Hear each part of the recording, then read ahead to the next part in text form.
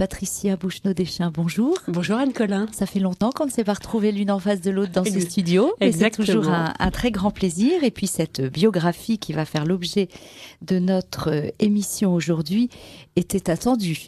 Elle est, alors c'est une somme, euh, donc vous, venez de, consacrer euh, à André Le Nôtre, j'allais dire, la première biographie. Hein, visiblement, nous allons en reparler, mais ce personnage si connu n'avait pas une biographie digne de lui, digne du personnage, et vous vous y êtes attelé avec avec beaucoup de, enfin, je vois au, résultat un, travail colossal. C'est un livre euh, qui euh, est une mine de renseignements, qui fourmille de, de précision euh, sur un, personnage que l'on croyait connaître et dont on s'aperçoit qu'il n'avait jamais eu de biographie digne de ce nom. Je précise que c'est une biographie qui est publiée chez Fayard, qui est sortie à la fin de l'été.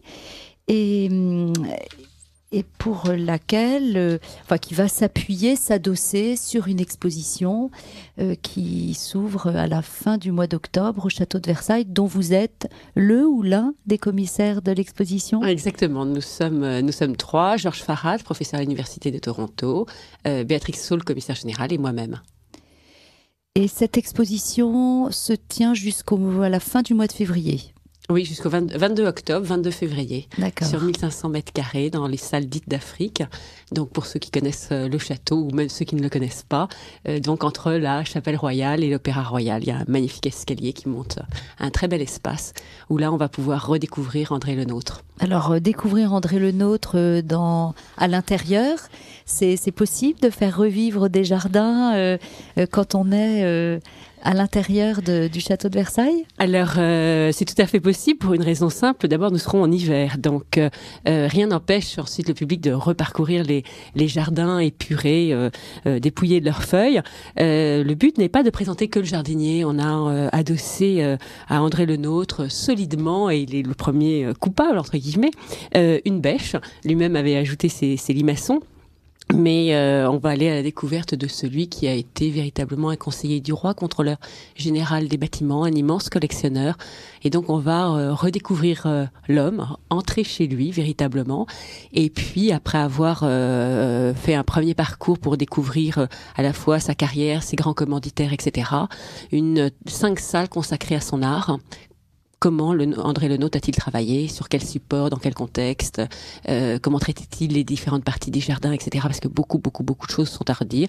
Et enfin, une dernière partie consacrée à la modernité de Lenôtre. Donc en fait, oui, c'est possible parce que parce que d'abord, on a aussi un très bon euh, muséographe qui va donner de l'espace à des espaces qui ne sont pas forcément euh, grands. Donc voilà, donc le château de Versailles a choisi les studios Nathalie Crinière et, et donc voilà, c'est une une collaboration qui va, euh, nous l'espérons, donner des, des, résultats qui vont, euh, qui vont surprendre et, et conquérir euh, le public qui croit connaître André Le Nôtre. Et en fait, il y a énormément de choses à, à mmh. découvrir. Mmh.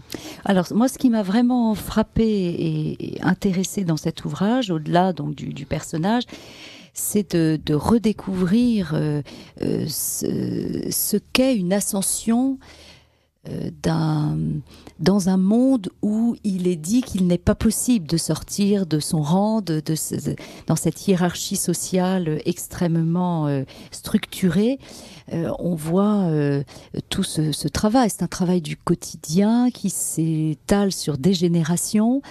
ça, c'est extrêmement intéressant.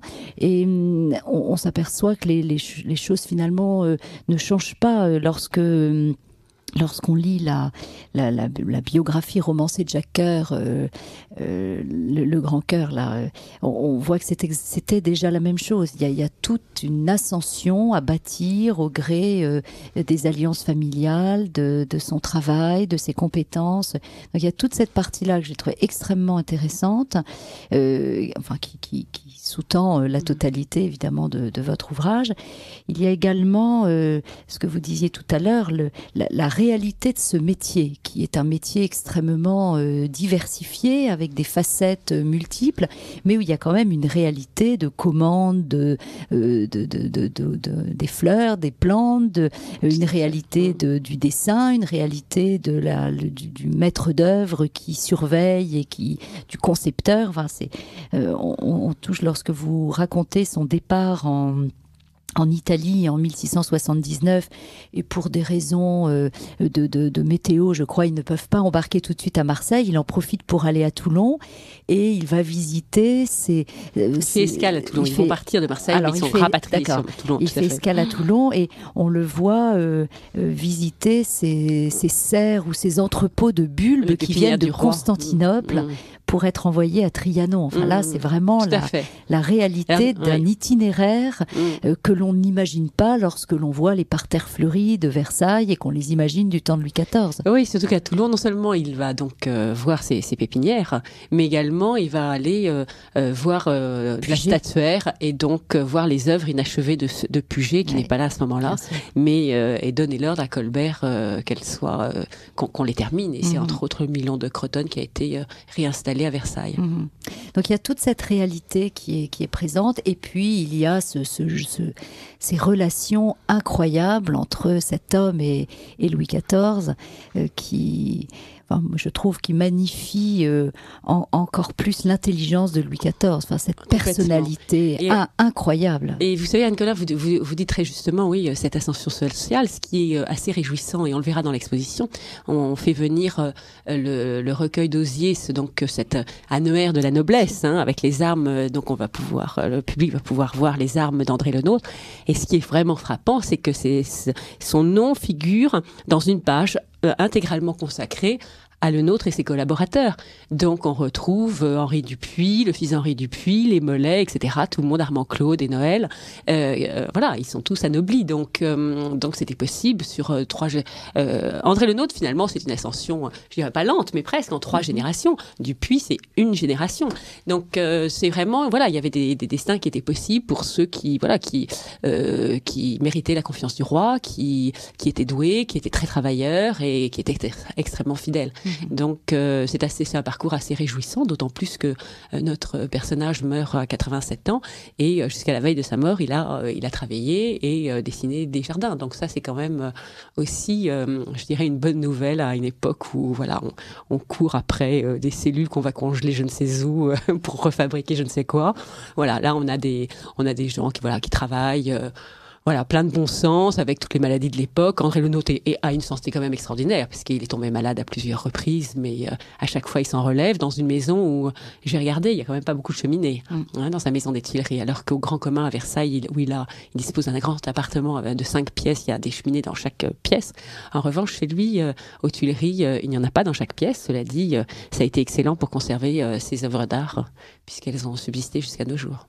Alors, quelques dates quand même pour André Le Nôtre. Donc, puisque c'est le quatrième centenaire de sa naissance, il est donc né en 1613. Voilà, le 12 mars. Et il meurt en 1700.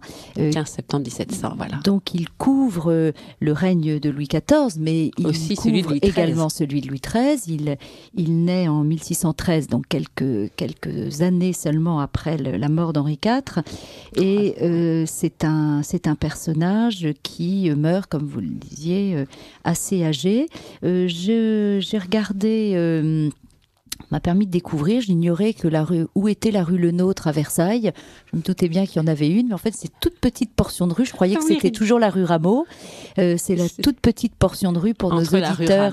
et, voilà, de la Reine. Exactement, qui, euh, qui, qui part après le après le cinéma euh, et qui s'en va vers le boulevard de la Reine. Et puis il y a cette statue sur la place Alexandre Ier qui fait face à celle de Mansart. Hein. Voilà, tout à fait. Et alors deux hommes qui se retrouvent. Je n'ai pas réussi à j'ai vu qu'elle était d'Henri Salomé, mais qui est ce sculpteur euh, Je n'ai pas réussi à, en savoir euh, davantage. J'avoue de ne pas m'être plongée sur son histoire. Ça sera peut-être une autre histoire. Et dans le château de Versailles, il y a une statue de Le Nôtre Non.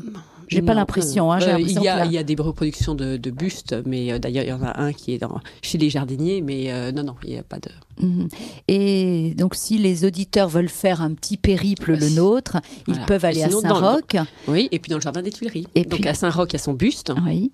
Et puis donc son buste par Coisevaux, qui a été réalisé juste après sa mort par sa femme. Lui-même avait demandé à Jean Jouvenet, le peintre Jean Jouvenet, euh, un des brillants disciples de Lebrun, euh, de, peindre euh, le martyr de Saint-André, qui est un tableau qui a malheureusement disparu, mais qui devait être magnifique. Si on en, on en, on en croit le dessin qui subsiste, qui est à la Libertina à Vienne et qui viendra à Versailles, et qui est un magnifique dessin qui nous restitue ce martyr de Saint-André, vous savez, crucifié sur la croix en diagonale. Euh, mhm. Voilà. Et puis il y a ce magnifique portrait euh, qui est votre couverture. Enfin, de Carlo. Vous êtes. Euh, mm. vous avez fait un zoom sur le, le, visage d'André Lenôtre, donc de Carlo Maratta, qui est un grand artiste italien. Donc voilà, un, grand, un, des plus grands peintres romains de son temps, et qui a accepté de peindre le nôtre à une époque où il prenait peu, peu de clients et euh, donc le nôtre lui a demandé, quand il était à Rome, ce portrait euh, a dû être ébauché euh, et fait au moment de son voyage à Rome, donc pendant l'été 1679, et très vraisemblablement terminé dans, dans, les années qui suivent, dans la mesure où il est représenté avec l'ordre de Saint-Lazare, qui ne lui a été remis que deux ans plus tard. Mhm. Voilà, donc pour nos auditeurs, en fait, André le Nôtre a été anobli par, par Louis XIV en 1675, et il part en Italie, ce, ce grand voyage absolument qu'on fait en principe pour, pour se former. Lui va le faire euh, finalement très tard, en, 1679, en avril 79. On a toujours cru que c'était au début de l'année 79. Les dates ont un peu leur, ont leur importance parce que euh, en faisant partir euh, le nôtre en janvier 79, d'après une date, une lettre de Colbert qui dit bien, qui recommande le nôtre à Rome, on excluait le nôtre de sa participation au chantier de Marly. Or, or le nôtre n'est parti que fin avril.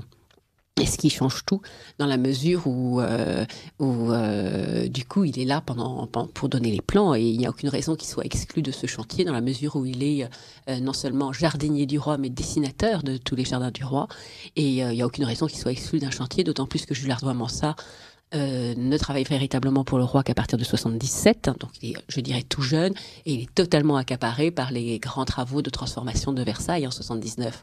Donc ce qui est intéressant, c'est que notre le nôtre part pour Rome fin avril mais complètement, euh, complètement euh, libre. Il a laissé tout ce qu'il fallait comme instruction, comme plan, etc.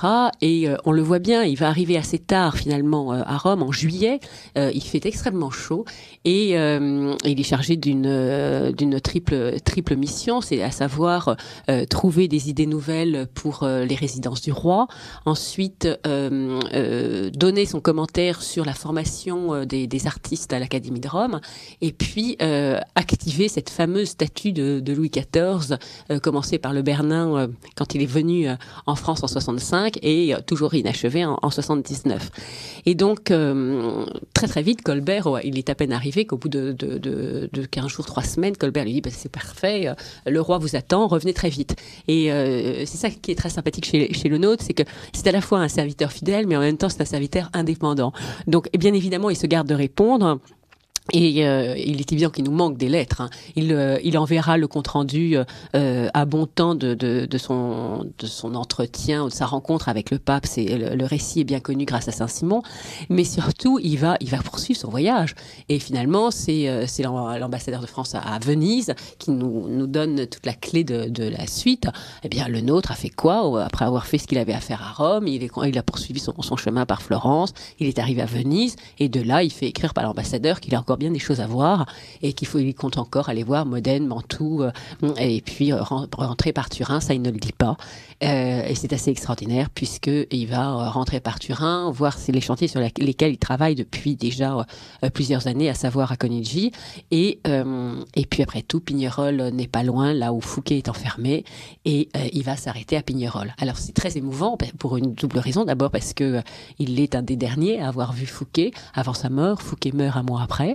Et puis, euh, et puis euh, c'est drôle parce que euh, il y a une lettre absolument furieuse de Louvois qui écrit, ça m'est complètement égal que le nôtre non, ou non vu Fouquet, mais on ne doit pas, enfin Pignerol n'est pas un moulin, tout le monde ne peut pas, ne, ne doit pas rentrer. Alors moi je renvoie à la, biographie de Jean-Christian Petit-Fils qui raconte très très clairement que ça correspondait à une période où, le, prisonnier avait pu de nouveau voir sa famille, puis là il est malade et finalement ce, ce cette ouverture des visites a eu un tel succès que du coup ça, va se resserrer et le nôtre est un des derniers à, avoir vu Fouquet. Donc ça nous montre tout cela à la fois d'abord le prestige de le nôtre puisqu'il part dans un équipage quasi royal puisqu'il part avec la, la toute nouvelle duchesse Sforza, donc c'est une c'est une tiange, c'est-à-dire c'est tout le clan. Euh, il part avec le clan Mortemar hein. et euh, donc avec euh, Vivonne qui est à la tête de, l'escadre. Il part avec 16 navires et, et 26 galères. Il faut imaginer cet homme qui qui donc a 66 ans. C'est quasiment l'âge du Bernin quand le Bernin était venu en France en 65 et qui s'était rencontré pour la première fois. évidemment, la légende raconte que ils se sont vus à Rome pour la première fois. C'est absolument faux. Ils se sont vus en 65 à plusieurs reprises c'est un petit opéra en cinq actes parce que c'est assez drôle. Euh, mais euh, euh, voilà, donc c'est cet homme qui part à 70 ans dans, des conditions, dans un équipage absolument fabuleux. traverser la Méditerranée, c'est encore une expédition à l'époque, hein, c'est le temps des, barbaresques. Et, puis, et puis avec une vraie mission. Et puis ce qui est très touchant, c'est ensuite, dans le résultat, on sait qu'il a acheté des œuvres d'art quand il était en Italie. Et c'est très émouvant quand on feuillette son inventaire après décès qui avait été partiellement publié par Jules Guiffray en 1913 c'est euh, de voir euh, bah, tous ces petits tableaux, tous ces petits souvenirs qui visiblement sont des, tableaux de souvenirs, hein, euh, qu'il a visiblement rapporté de son voyage. Donc, je montrais encore il y a, quelques jours à, l'hôtel de Rouen-Soubise cet inventaire où, sur une double page, on voit à la fois que après, après avoir donné au roi ses plus belles pièces, il a quand même donné trois poussins au roi. Et bien sur cette page, on voit encore une, une nativité de poussins, on voit des petites mascarades et des représentations de Venise. On voit un Bruegel, de Charette de Bruegel. Et puis, euh, et puis voilà, c'est ça. Il y a un autre Alban. Donc c'est vraiment, on est, on est euh, chez un homme qui a, euh, qui a une très très grande envergure, qui est un, un immense collectionneur et qui est un homme, surtout, moi, ce qui m'a frappé, ce sera au bout de ces 15 années d'enquête, j'ai envie de dire qu'ils ne sont pas finis parce que il a fallu mettre un point euh, en raison de ce maudit 400e anniversaire, sinon j'aurais bien gardé André, André Lenôtre encore quelques années avec moi. Euh, eh bien, c'est que surtout euh, également un homme d'une immense culture. C'est ça qui faisait aussi que le roi avait grand plaisir à l'avoir. Euh, quand le Bernin vient à Paris en 65, non seulement il vient admirer Versailles, c'est à la suite de cela que que le nôtre euh, va véritablement avoir les mains libres à Versailles. Euh, la, visite est très très, bien faite. Euh, on confie le Bernin à le nôtre, le nôtre visite tous les jardins, et c'est en sortant des jardins, comme par hasard, que le roi apparaît avec la cour et demande à le Bernin ce qu'il en pense. N'oublions pas qu'à cette époque-là, Colbert n'est pas très chaud pour ses travaux, et le Bernin lui dit je ne comprends pas que vous, alliez aussi peu souvent à Versailles. Moi, j'irais tous les jours si j'étais vous.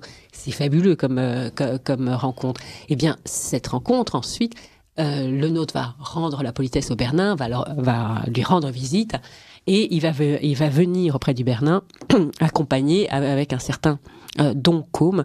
Don Combe euh, était un, religieux euh, des feuillants extrêmement brillant. C'est lui qui a prononcé l'oraison funèbre d'Anne d'Autriche, qui prononcera celle de, la reine Marie-Thérèse, et, connu pour le, brio de sa conversation. Et alors on enrage un tout petit peu parce que parce que ne, nous dit qu'une phrase. Euh, Don Combe, le, et le nôtre se sont dit de bien jolies choses. Donc on imagine un petit peu, on retrouve le nôtre dans l'intimité de, de, des appartements du roi. En 83, il faut imaginer le château euh, quasiment euh, achevé, la grande galerie des glaces, son mobilier d'argent. On est en train d'aménager derrière euh, les appartements du roi et notamment le fameux cabinet des préciosités et des raretés qui rencontre là, rencontre-t-on là dans le sein du sein. On rencontre non seulement tous les grands seigneurs, Madame de Maintenon, etc., tous ceux qui font, qui, qui sont sa clientèle, hein, ainsi que le roi évidemment, et le nôtre qui est là, voilà, euh, qui apparaît et qui voilà, il, est là en permanence. Et ça, c'est quelque chose d'extrêmement de, intéressant. Oui, on reparlera peut-être plus tard de cette euh, sorte de fascination tout de même qu'il y a euh, que ces deux hommes ont l'un vis-à-vis de l'autre et qui transparaît très bien dans votre biographie Patricia Boucheneau Deschamps consacrée à André Le Nôtre chez Fayard. Juste un, un tout petit mot avant de façon peut-être plus didactique et chronologique dans la vie d'André Le Nôtre. Juste un petit mot sur cette visite à Pignerol entre Le Nôtre et Fouquet, qui montre, au-delà du caractère émouvant de cette ultime rencontre, qui montre aussi l'indépendance d'esprit tout de même de, de, Le Nôtre, qui fait finalement ce qu'il veut et un Louis XIV qui laisse faire. Qui le laisse faire, absolument. Ça aurait pu tout de même. Euh, on, reviendra sur son indépendance d'esprit euh, mhm. avec d'autres exemples Bien euh, sûr, tout à l'heure.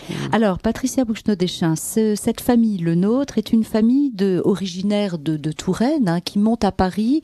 et là, dès le début, dès la génération du grand-père, on s'aperçoit que il y a une, une intelligence dans la conduite de leur carrière, puisque ils sentent euh, cet aïeul très vite qu'il y a un coup un peu à faire pour se placer avec ce nouveau chantier des Tuileries et donc, euh, il, monte à Paris euh, en se disant euh, c'est là que je peux peut-être me faire connaître. Alors, je, voudrais revenir sur ces origines de, de, Pierre de Pierre Lenôtre et donc du grand-père de, de Lenôtre, parce que ça, c'est encore c'est quelque chose qui est neuf, absolument neuf, dans la mesure, vous savez, je, dirais que avec mes personnages, je, ne dirais pas que je n'ai pas de chance, mais vous savez, avec la Montancier, j'étais tombée sur un personnage qui se faisait passer pour une fille d'officier de marine, qui avait voilà, qui qui qui, qui était finalement presque de bonne famille.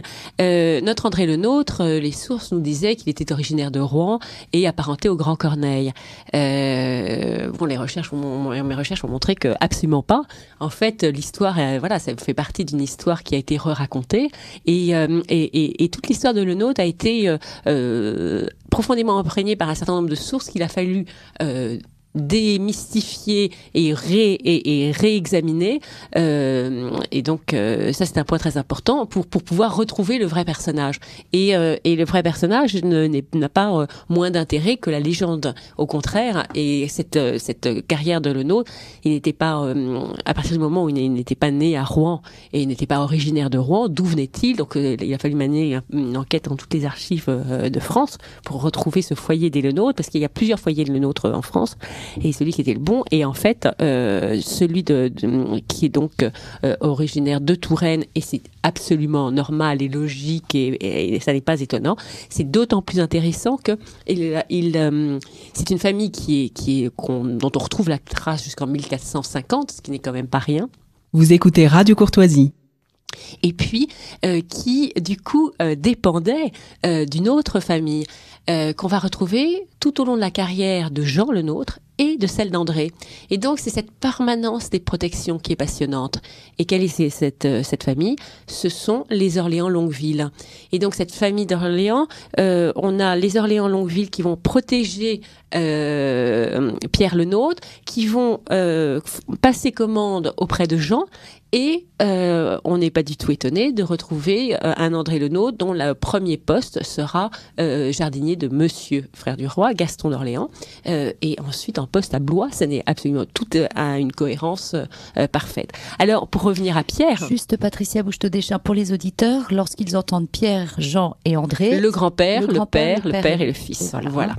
Et donc, pour revenir au grand-père, Pierre c'est effectivement euh, quelqu'un qui est euh, très intelligent, qui est euh, qui a qui a déjà une capacité à, à réagir. Déjà la première opportunité qu'il a saisie, hein, c'est cette période troublée de guerre de religion où, où, les choses sont compliquées. On a encore la peste qui sévit, etc.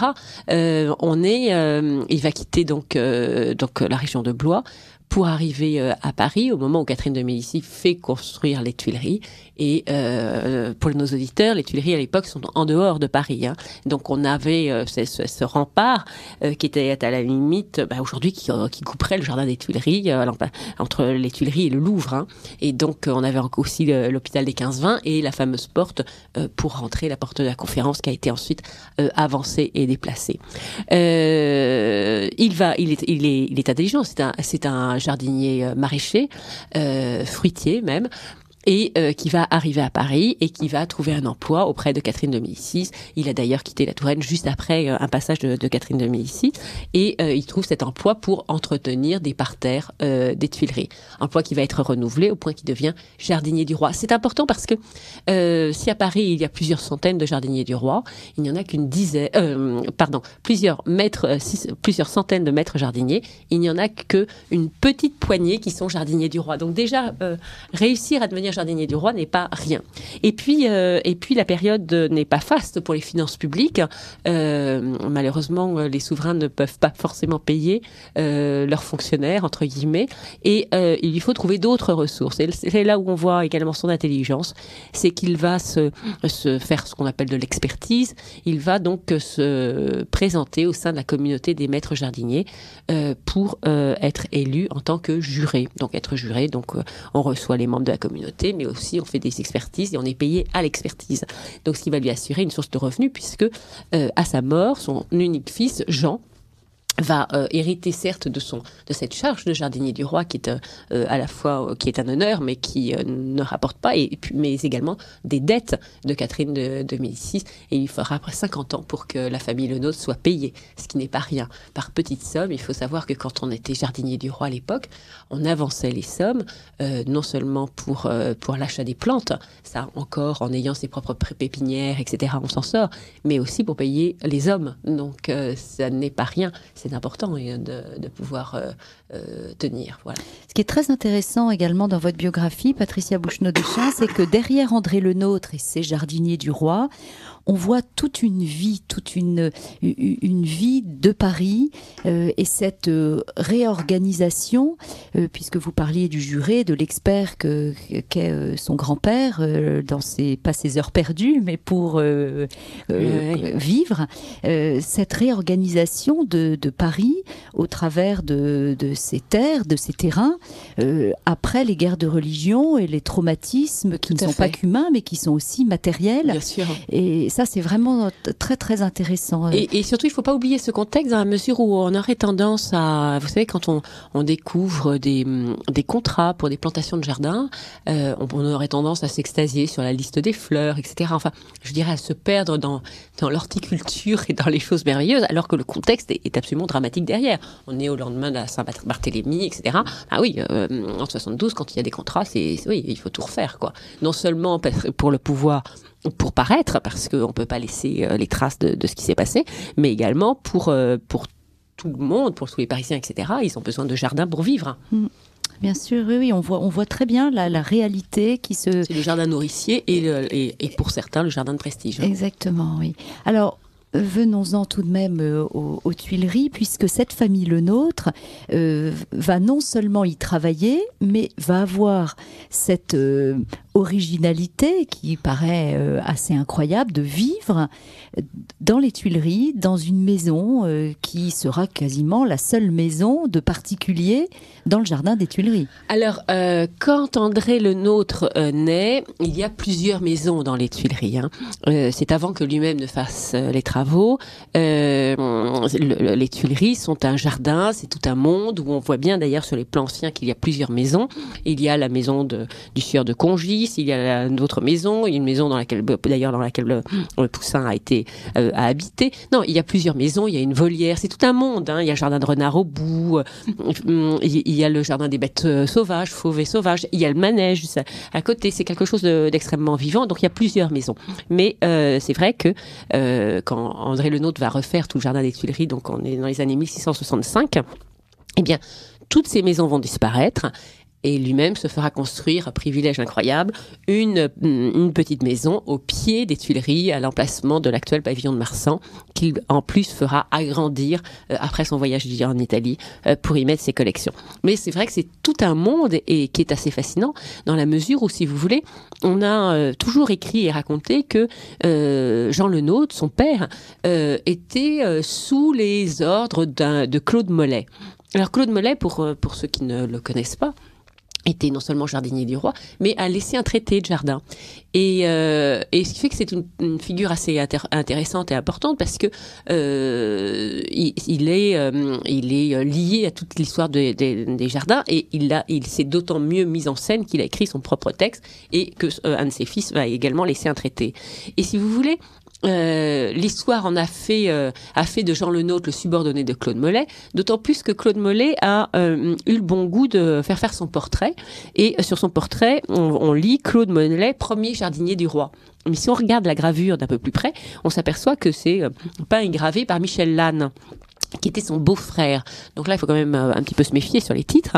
Et euh, on s'aperçoit que quand on va euh, dans les actes, il y a deux sortes d'actes. Il y a les actes officiels des bâtiments du roi, où là, on voit Jean Le Nôtre et Claude Mollet qui ont rigoureusement le même titre, jardinier du roi. L'un est responsable de la partie côté jardin des Tuileries, et Claude Mollet est responsable de la, ce qui deviendra ce qu'on appelle le jardin de Mademoiselle, la fille de Gaston d'Orléans, du côté du Louvre. Donc, ils n'ont pas du tout les mêmes parties de jardin. Et quand on regarde même sur une carte, euh, le jardin de Jean est beaucoup plus important. Donc ça, c'est la première chose.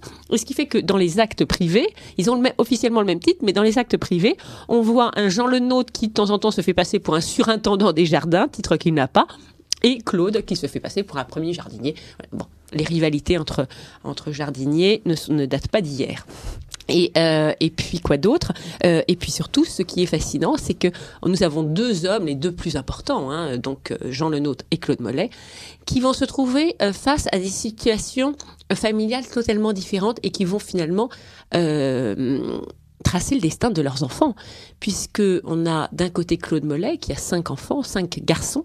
Et donc, pour transmettre une charge de jardinier, même s'il a plus de jardin à transmettre, eh bien, ses enfants vont devoir, entre guillemets, s'expatrier pour trouver des postes à leur ampleur, et donc ils vont partir en Angleterre, en Suède, etc. Ce qui est très important pour le dessin du jardin français qui, dont les modèles circulent, véhiculent et s'imprègnent également du jardin hollandais, et etc. Donc ça, c'est très important.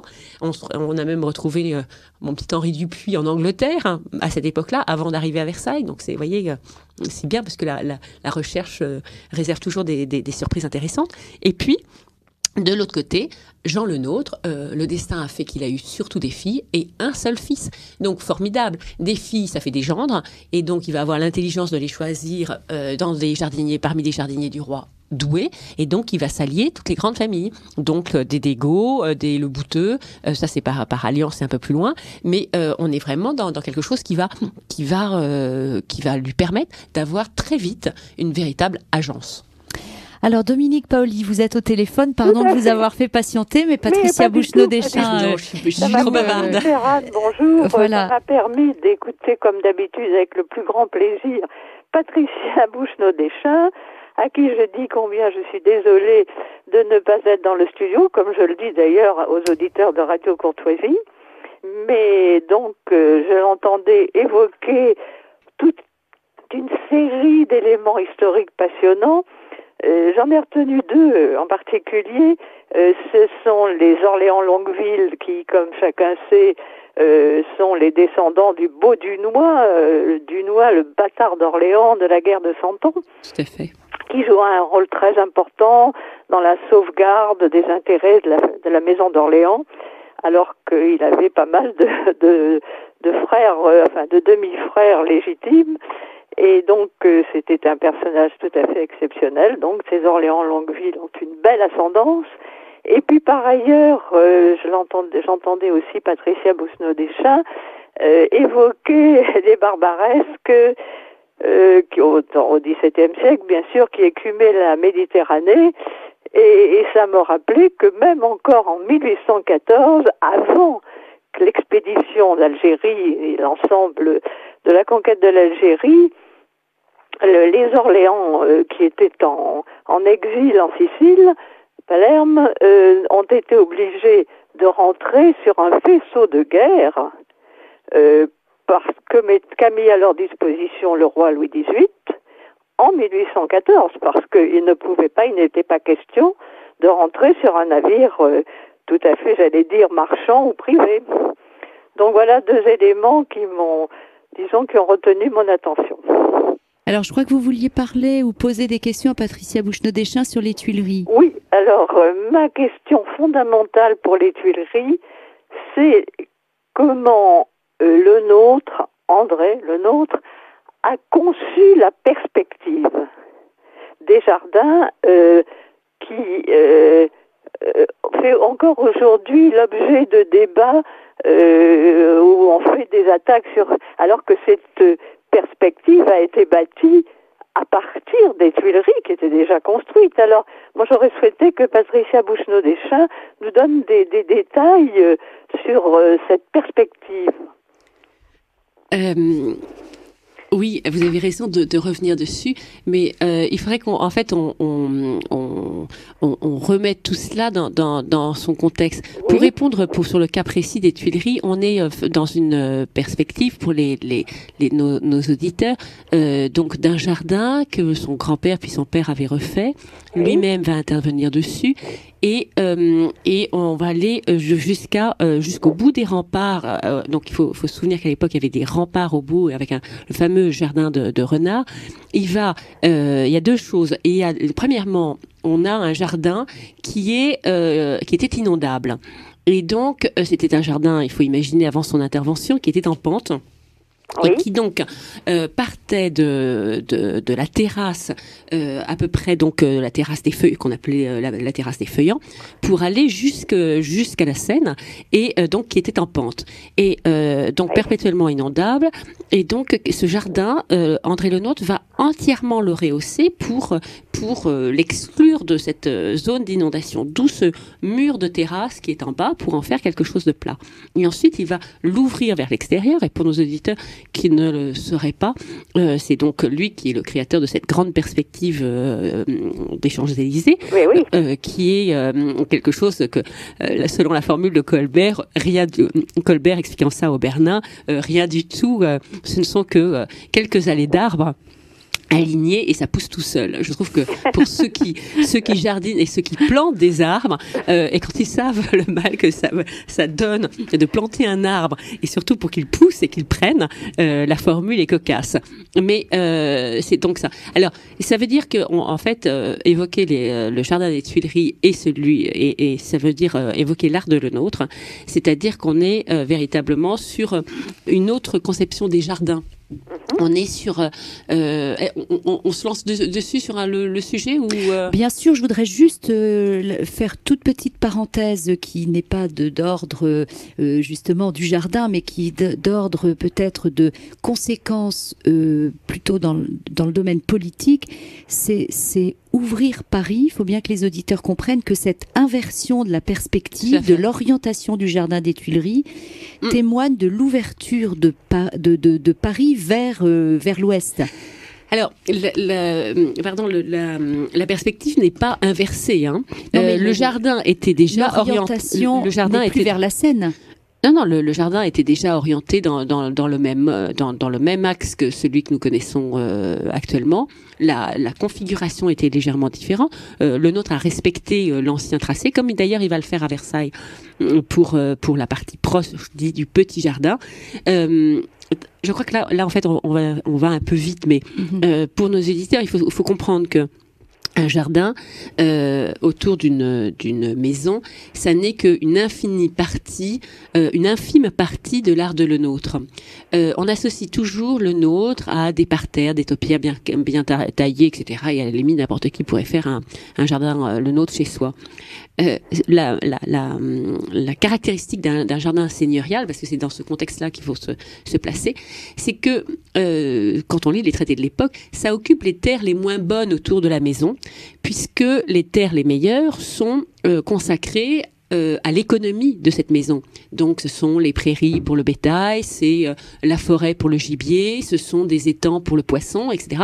Puisque un domaine se doit de vivre en, autarcie. Donc d'ailleurs on retrouvait ces différents éléments autour et notamment à Versailles. Alors que va faire le nôtre? On, Il se trouve dans des structures qui existent depuis toujours avec un jardin qui est plus ou moins clos pour éviter que les bêtes euh, sauvages n'entrent euh, et, détruisent tout, avec très souvent, le plus souvent séparé du petit parc et du grand parc par un canal. Le canal n'est pas forcément orientation, il était euh, ornementation, il était d'abord vivier, donc pour du poisson, et puis séparation, lui aussi, ça nous, ça permettait de, séparer les, les, différentes parties du terrain. Que va faire notre le nôtre? Le nôtre, lui, intervient de manière différente sur le terrain par rapport à ses prédécesseurs. Lui, ce qui le caractérise, il va s'adapter à la demande des grands propriétaires de l'époque. On a un changement d'échelle dans les propriétés, c'est-à-dire, et on a surtout un changement de propriétaire. On est à une époque où, si vous voulez, euh, l'aristocratie s'est quand même pas mal ruinée dans les guerres de, de, religion et il y a beaucoup de propriétés qui passent dans les mains de financiers et donc d'une riche bourgeoisie qui va modifier un petit peu le, les choses en, en, souhaitant paraître et en créant un certain nombre de jardins, ce qui va contribuer euh, au développement de cet art. Et euh, en en voulant paraître, on modifie l'échelle des jardins. Jean Le Nôtre est déjà confronté à ce problème d'échelle. Euh, quand vous faites un parterre euh, sur 10, 20, 30 ou 40 mètres, vous n'avez pas de problème, entre guillemets, d'optique. En revanche, dès que vous allongez les distances, vous vous retrouvez avec des problèmes de déformation. Et donc, c'est la raison pour laquelle Jean Le Nôtre va euh, donc placer son fils chez Simon Vouet. Jean Le Nôtre était déjà dessinateur du roi. Donc le nôtre a un grand-père euh, jardinier du roi, un père jardinier du roi, mais Jean était déjà dessinateur. Donc le nôtre ne va pas chez Voué pour apprendre à dessiner. Il y va pour autre chose. Il y va pour un carnet d'adresses, il y va parce que c'est le plus brillant d'entre tous, il y va pour se former euh, auprès de quelqu'un qui en plus sait communiquer, puisque au fur et à mesure qu'il dessine, de, il dessine, Voué euh, fait graver, donc c'est un communicant de première main, et, c'est vraiment quelque chose qui va être important hein, dans la carrière de le nôtre, parce qu'il fera exactement la même chose. Et surtout, c'est quelqu'un qui est passionné de techniques qui intéressent déjà Jean et, et, et, qui ont intéressé euh, Pierre, c'est-à-dire qu'il est passionné par tout ce qui touche à l'anamorphose. L'anamorphose, c'est euh, euh, quelque chose qui fascine tous les contemporains, qu'on trouve dans les cabinets de curiosité par euh, des tableaux, par différents jeux. Et puis entre autres, Simon Vouet, on sait qu'il le, connaissait bien. Il il avait entre autres dessiné quelque chose qui nous reste. C'est à Rome et c'est un dessin où l'on voit autour d'une table des satyres qui sur la table regardent un espèce de brouillon, quelque chose un peu déformé. Et vous avez un miroir dans lequel apparaît un éléphant. Voilà, c'est transformer euh, des choses informes pour leur donner une forme. Donc, on avait ça dans le couvent de la Trinité des Monts à Rome, on avait ça au couvent des Minimes à Paris. Les, le nôtre sont très liés aux Minimes à toutes les générations. Et c'est donc quelque chose qui intéresse les nôtres. Pourquoi? Parce que effectivement, quand on, dès qu'on est, on a une, une distance, eh bien les choses se déforment et il faut leur redonner une forme. C'est ça ce que le nôtre va aller apprendre. Et c'est ce qu'il va appliquer dans toutes ses créations. Donc les Tuileries, Versailles et ailleurs. Ça, c'est vraiment la marque de fabrique de le nôtre. Vous écoutez Radio Courtoisie. Et le nôtre, et ensuite, c'est pas un théoricien, même s'il a laissé un traité qui malheureusement a disparu, parce qu'on a toujours dit qu'il n'avait pas laissé de traité, mais il en a laissé un. Euh, le nôtre est quelqu'un qui, euh, qui est un, immense pragmatique. Et ça, c'est très intéressant. Pourquoi un grand pragmatique? Parce que euh, il regarde la géographie des lieux. Où est la rivière? Qu'en fait-il? Dès qu'il y a un réseau hydraulique, regardez que ce soit Volvicomte, où il va donc la canaliser en canal et une autre, il la fait passer en souterrain pour approvisionner les bassins. Euh, à Versailles, euh, on a l'étang de Clagny qui va être acheminé donc dans les dans, dans la tour d'eau, puis euh, tous les petits rues canalisés dans ce canal et comme ça ne suffit pas pour des grandes fontaines et surtout les cascades dont il rêve pour le roi, on va mettre en œuvre tout ce système d'acheminement des eaux euh, de la plaine de Saclay jusqu'à l'heure et de l'autre côté euh, la machine de Marly. Et euh, à Haute-Tuileries, on est dans un espace plus restreint. Il ne faut pas oublier que c'est un... voilà, Colbert voudrait que l'on achève le chantier des, du Louvre. les Tuileries, on reste dans un espace restreint, donc d'un jardin où le nôtre va appliquer ses principes. Donc il va quand même surélever ce terrain pour l'empêcher d'être inondable. Ça, c'est quand même un point important. Lui donner une forme qui n'est pas tout à fait celle actuelle, c'est ça. Les, les, les auditeurs pourront, euh, pourront le retrouver dans l'ouvrage collectif euh, qui, qui paraît à l'occasion de l'exposition euh, que nous avons dirigé avec Georges Farad et dans un article passionnant, ce sont les, résultats des fouilles de Anne euh, aux Tuileries et ces résultats des fouilles sont absolument remarquables et montrent bien comment le nôtre est, un grand pragmatique et comment, sur le terrain, ce qu'il fait, par exemple, pour que les plantes ne pourrissent pas, donc quelle terre et quel mélange il met pour que les arbres ne pourrissent pas, tout ça, ça a été retrouvé à, l'occasion des travaux archéologiques. On se rend compte que c'est véritablement quelqu'un qui est un, un gestionnaire du sol, euh, des plantes et euh, de manière générale, quelqu'un, comme effectivement le disait Saint-Simon, il le connaissait parfaitement, euh, c'est quelqu'un qui a essayé de, à chaque fois de faire au moindre frais qu'il se pourra. Et ça, c'est vrai que maintenant, l'archéologie, les recherches permettent de, de mieux le comprendre. J'aurais souhaité juste un petit point de détail. au bout du jardin des Tuileries, pour accéder à l'actuelle place de la Concorde, j'avais trouvé la trace d'un pont tournant. Oui. Et c'était une création de le nôtre ou c'était antérieur? Euh, Non, le pont le pont tournant a été euh, a été euh, a été créé même, je pense, après le nôtre. Après le. Oui, il me semble. Hein. Donc là, il faudrait demander le grand spécialiste, c'est Alexandre Gadi en matière d'architecture. Là, je je vous renverrai lâchement Alexandre Gadi qui sort bientôt un ouvrage sur le jardin des Tuileries et sur toute l'architecture. très très bien. En tout cas, je crois que vous n'allez pas tarder non plus à vous intéresser, si ce n'est déjà fait, au, château de Saint-Cloud, non? Oh ben, euh, De toute façon, Saint-Cloud euh, fait partie de la vie d'André Le Nôtre dans la mesure où euh, il appartenait à monsieur. donc, Louis XIV l'achète pour pour Philippe d'Orléans et, euh, et, André Le Nôtre est jardinier de Monsieur d'abord Gaston d'Orléans puis de Philippe d'Orléans donc Saint-Cloud est une est, est, absolument une création euh, fait partie des jardins. Vous avez publié un très beau livre sur Saint-Cloud dans mes souvenirs. Sous, sous, la houlette et il y a un très beau livre qui avait été euh, qui avait paru sur Saint-Cloud tout à fait. Merci Dominique. Eh bien écoutez merci de m'avoir accueilli tout de même. Et je vous souhaite une excellente fin d'émission et je dis donc au revoir à Patricia Bouchon-Deschamps, à vous Anne et à tous les auditeurs de Radio Courtoisie. À bientôt Dominique Paoli. Alors Patricia Bouchenaud-Deschamps, je rappelle aux auditeurs que j'ai le plaisir de vous recevoir aujourd'hui, que vous venez de publier une très riche biographie consacrée à André Le Nôtre chez Fayard, euh, que s'ouvre euh, le 22 octobre prochain une exposition au château de Versailles dont vous êtes l'un des, commissaires et que nous fêtons cette année le quatrième centenaire de la naissance d'André Le Nôtre, donc dont les dates sont 1613-1700. Euh, notre direct n'a malheureusement que 52 minutes et le temps passe euh, extrêmement vite.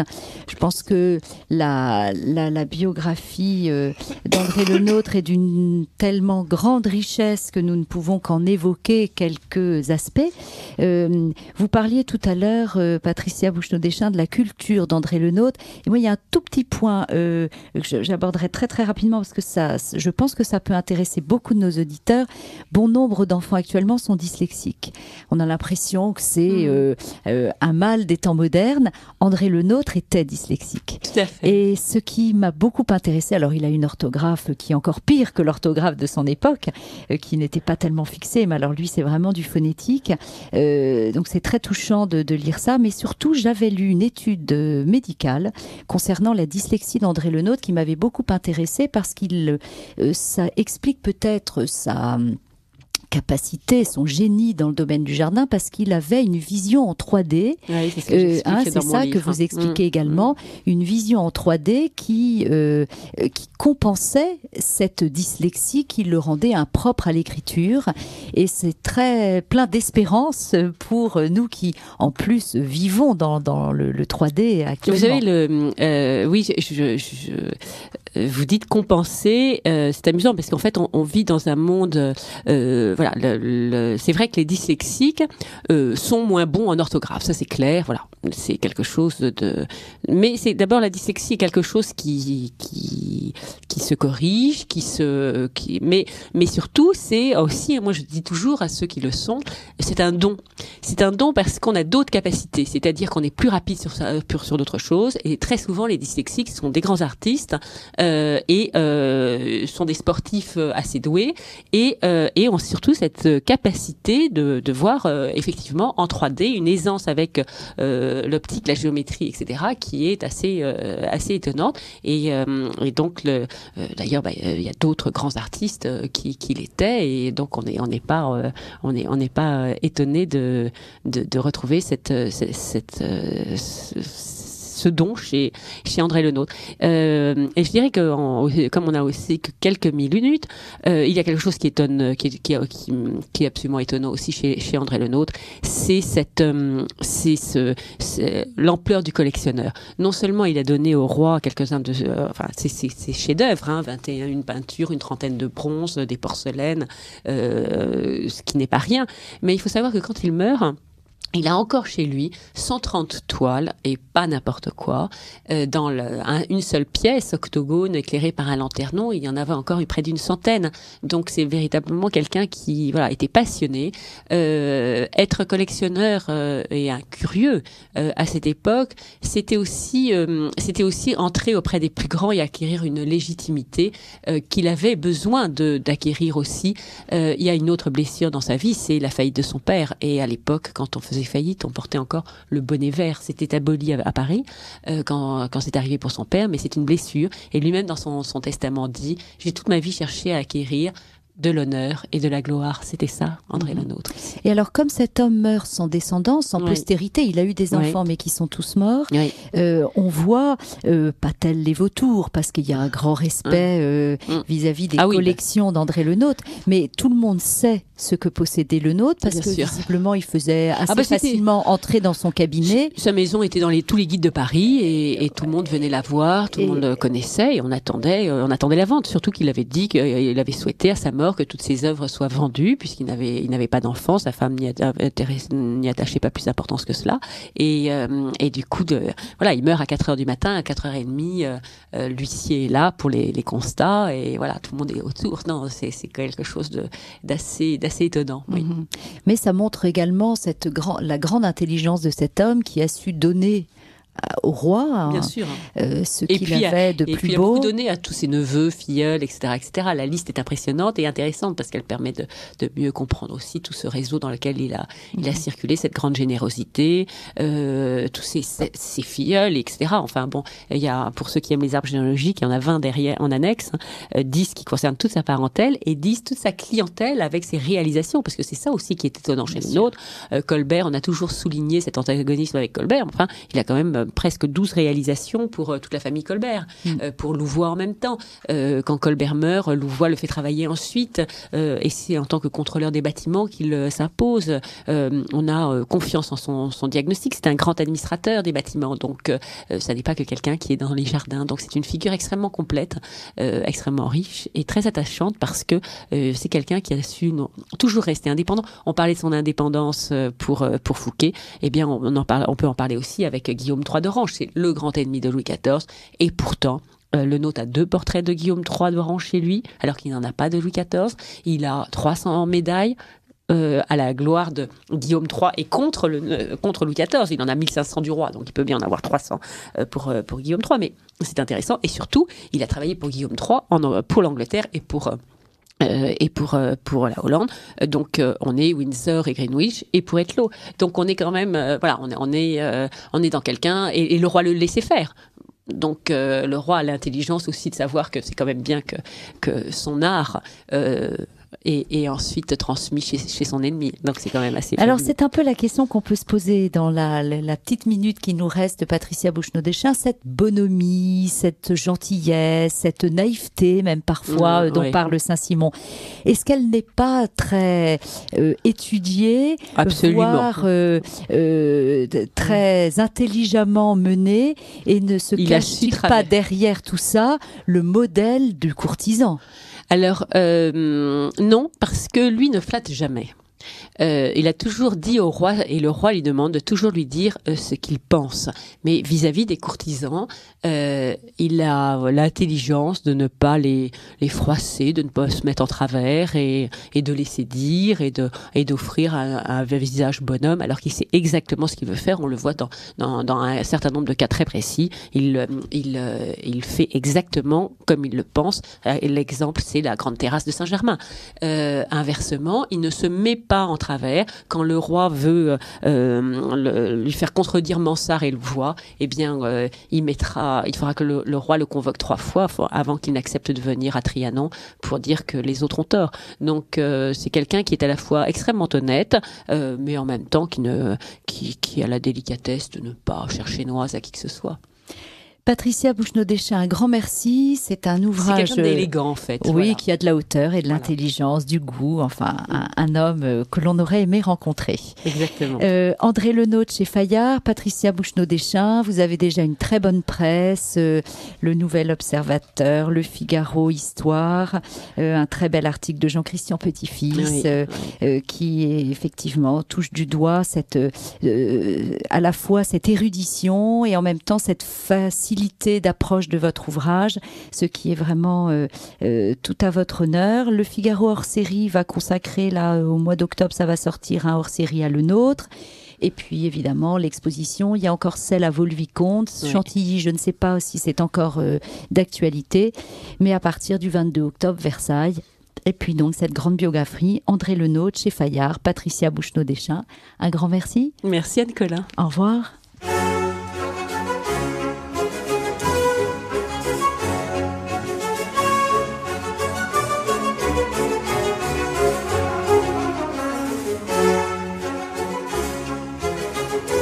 Ici Radio Courtoisie, la radio libre du pays réel et de la francophonie.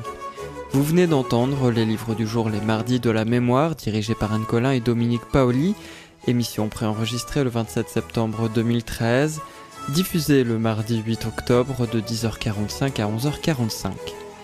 Ils sont diffusés en différé dans l'après-midi de 14h à 15h, mercredi de 6h à 7h, samedi de 14h à 15h, puis à la demande sur le site internet de Radio Courtoisie. Ces livres du jour ont été réalisés par Arnaud. N'oubliez pas que Radio Courtoisie est une radio culturelle associative. Afin de sauvegarder une indépendance absolue, Radio Courtoisie refuse toute ressource publicitaire. Radio Courtoisie ne vit que grâce à ses auditeurs. Aidez-nous à demeurer libres, adhérez à notre association. Pour cette année, la cotisation minimum est de 40 euros. Envoyez votre chèque à Radio Courtoisie, 61 boulevard Murat, 75 016 Paris. Si vous le désirez, nous pouvons vous faire parvenir un enregistrement de ces livres du jour. Commandez le CD-ROM de l'émission pour le prix franc de port de 9 euros ou 6 euros seulement si vous êtes adhérent de notre association. En rédigeant des chèques distincts pour la cotisation et pour l'enregistrement, vous faciliterez la tâche de notre secrétariat bénévole. Je vous rappelle notre adresse, Radio Courtoisie, 61 boulevard Murat, 75 016 Paris.